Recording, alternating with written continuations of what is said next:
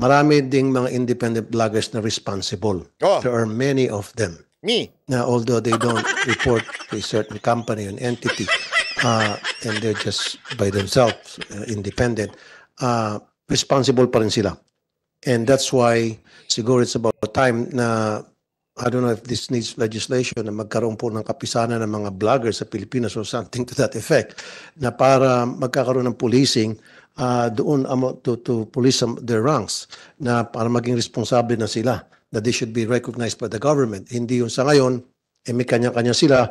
Marami nga dyan ng mga vloggers na sumusunod sa Code of Ethics, sa tamang pamamaraan na para ilabas mo yung mga istorya mo sa social media. Pero meron pa rin talaga dyan mga girila na talagang pag umupak-upak lang na without thinking of the consequence because Sil- si- silibayan ba yan? Hindi ako ah, I I I I agree with the with sinasabi ni Senator Tulfo na marami talagang vloggers diyan na matitino pa naman.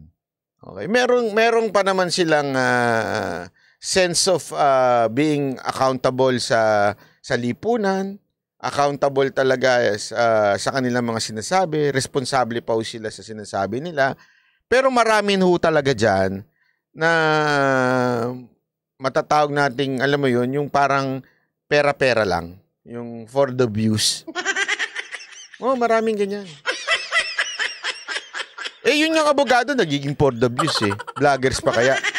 Although, I don't think, ako ah, uh, we cannot force them. Senator uh, Rafi Tulfo, uh, we cannot force them to join.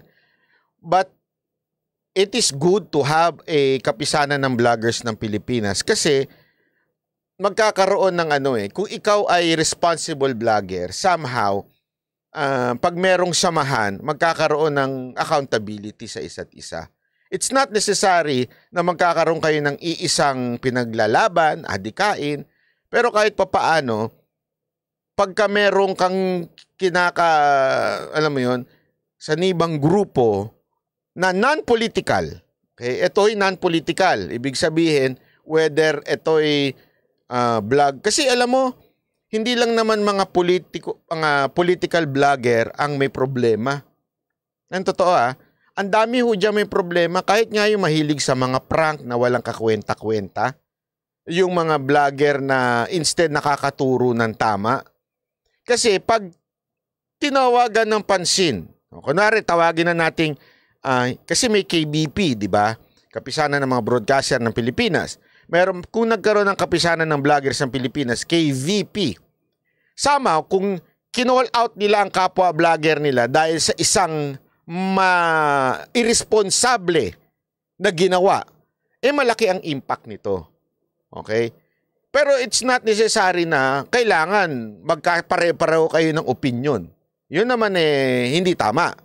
Pero gayon pa man, maganda rin, kunwari may isang gagong vlogger na uh, bigla na lang nagmumura dyan, tapos sasayaw na nakabrick, tapos biglang manghihingi ng donasyon, at least pwedeng i-call out, di ba? Hoy, yung kababuyan mo, bawas-bawasan mo. Hindi ka magandang halimbawa sa mga bata. Ayun na nga lang, ano, eh, di ba? At least yun, kahit pa paano, may impact yun pag uh, kinall out siya nitong KVP. O di naman kaya itong isang uh, o ikaw puro abogado ka pa naman tapos puro fake news pinapakalat mo. May sarili kang batas, o di ba? At kinall out ka. At least kahit pa paano medyo ay kinall out pala ito. Di at least malalaman ngayon ng tao, ay may problema sa tao na ito. Hindi ho para sa political vlogger lang ho ito. Para sa lahat. Kaya nga maganda rin eh. Kasi meron din naman, hindi lang political vlogger ang loko-loko. Marami rin ho dyan yung mga, mga gumagawa-gawa ng ano, yung vlogger na nagpapakalat na yayaman ka pag ganito. Eh, scammer yung iba dyan. Eh. Diba? Yun nga lang, you cannot force them to join. Okay? But it is also important, 'di ba? na magkaroon ng organisasyon na would somehow, kasi katulad ng KBP, hindi naman no lahat ng media membro ng KBP, di ba? Pero gayon pa man, pag ang KBP nagsalita na, medyo nakikinig ng kahit papaano o may merong dating yung kanilang sasabihin. And hindi naman sila nagbibigay ng kanilang komento na political. Hindi ko sila ganun eh. Yung pag pansinin mo yung KBP, hindi naman sila na namumulitika pagdating sa kung sisitahin nila yung isang tao dahil, oh, ikaw, dilawang ka, walang ganun. Oh, magkaya nga maganda rin ito. Ay, sama, oh, simula. At least makatulong. Uh, kaya lang, eh, ewan ko kung hindi naman siguro kailangan ng batas dyan para gumawa pa ng ganun. Or maybe, hindi, hindi na kailangan. Actually, pinlano namin dati yan eh. Sa PCOO, nung maalala nyo. Pin, pinlano namin yan. Uh, idea yan ng uh, opisina ni Mokay Social Media Office sa PCOO. Sila Attorney Trixie. Hindi lang nag-push through pero idea na i-accredit. Ano ibig sabihin ng accredit? Ibig sabihin, these people, as in, they are credible. Although, ang plano namin i-accredit no na hindi lang mga Duterte supporter ha, as in lahat ng credible vlogger. Ibig sabihin, eh, hindi ho nagpapakalat ng fake news, hindi ko ano-ano kinikwento. Yun ang ano nun. Pero at the same time, dapat eh, malaya talaga lahat na makapagsalita pa rin. It's not really to suppress yung kanilang sasabihin, but more or less being accountable. Wala yung mga, oo, hindi kasali dyan yung mga Talano vloggers. Talano gold vloggers, hindi namin sasali yun. Basta yung mga may mahilig sa conspiracy-conspiracy, yung may alien, ganyan-ganyan mga zombie virus, hindi, hindi namin sinasali mga ganun. Alam natin may sintu-sintu yung mga... Hindi, tsaka al- alam mo na kagad na kaya yung mga yan, nagagaganyan. Para yan sa views eh. Kasi alam mo mga mga tao, lalo na Pilipino, mahilig sa ganyan eh. Yung, oh, may multo na nakita, ganyan. Di ba kayo, kahit naman kayo eh. Pag may nakitang multo sa TikTok, talaga titingnan ninyo. Oh, oh. Eh! Multo na kagad, napuses. Naposes na kagad. Nilabas lang yung dila, naposes na. Kaya yan, yan, yan, kaya yan, Pag umaga nung gano'n na. Di, di ba? Tuwan-tuwa naman tayo mga Pilipino doon eh. Ewan ko ba mga tao tuwan-tuwa sa mga gano'n pero takot na takot naman. Eh, sinabihan ako ng demonyo. Hanggang doon lang naman. Totoo. Ang hilig natin sa mga ganyang kwento. Kaya yung mga vlogger tuloy ganyan ang mga kwento. Ah, meron isang ano, demonyang nakita. Nakaihi. Nahihian niya yung nono sa punso.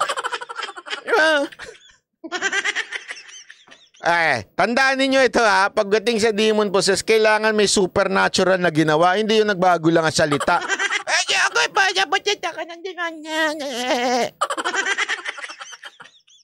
Walang ganon na naposes. Kailan po, alam mo sa mundo na to ha, tandaan nyo lalo na yung mga panahon ngayon, dumadami na yung ganyan. Yung mga kung ano-anong kinikwento, may napusis, merong uh, may alien, o merong nakitang uh, sumasayaw na white lady. Dami ko nakikita ganyan yung mga tuwan-tuwa naman tayo pag may mga sinasapian, pinanunod natin pero takot tinatakpan naman natin. Ay, sinapian siya.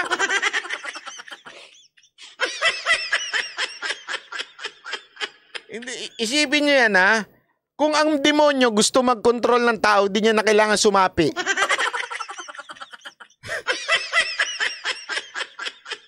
Kasi he can deceive someone by being good.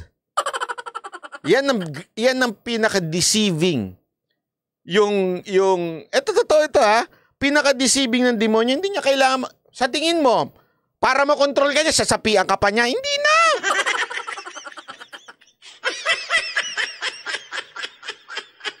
Kontrolin niya lang yung desire mo, control na control ka na niya. Hindi niya na kailangan sumapi sa'yo. Oh, ano yung weakness mo? O, oh, yun lang ang gamitin niya sa'yo. As a matter of fact, sa Biblia nga eh, di ba? An angel, uh, pwede, they would appear as an angel of light. As in, they will not appear as bad. They will not appear as demonyo. Agad-agad. Hindi. a-appear sila na mabait sila. Dito ka. Masaya dito. Yung asawa mo walang kwenta. Dito pa. Masarap dito. Yung, isipin niyo yan, ha? Isipin niyo maigi niyan. Gusto sirain ng pamilya mo, hindi kanya kailangan ipuses. Magpapasexy na lang siya. Oh. Sisirain na na buhay mo.